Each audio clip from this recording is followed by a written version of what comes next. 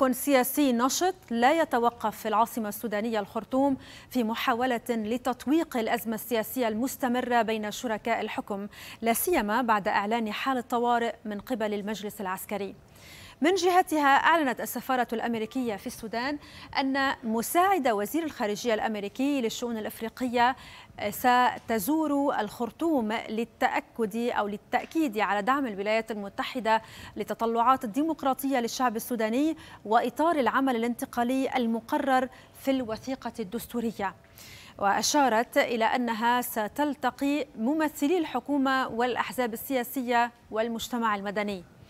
وفي ذات السياق قال دبلوماسي أوروبي للحدث إن الاتحاد الأوروبي يمنح الأولوية لمحاولة استعادة المرحلة الانتقالية في السودان وتشجيع الحوار بين المكونات مشيرا إلى وجود تنسيق مع الولايات المتحدة وأطراف فاعلة وأنه من المبكر الحديث عن آليات ضغط محددة. أما داخليا فلا تبدو الأجواء السياسية بين المكون المدني بأفضل حال بعد أن هاجم تجمع المهنيين السودانيين المجلس العسكري لقوى الحرية والتغيير متهما إياها بممارسة التشويش والكذب الصريح وفق قوله.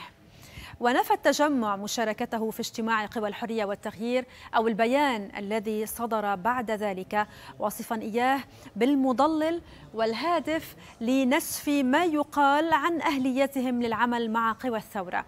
وكانت قوى الحرية والتغيير طالبت في بيان شارك فيه 24 حزبا وتنظيما بتكوين جبهة وطنية عريضة وأعلنوا تمسكهم بالوثيقة الدستورية واتفاق جوبا للسلام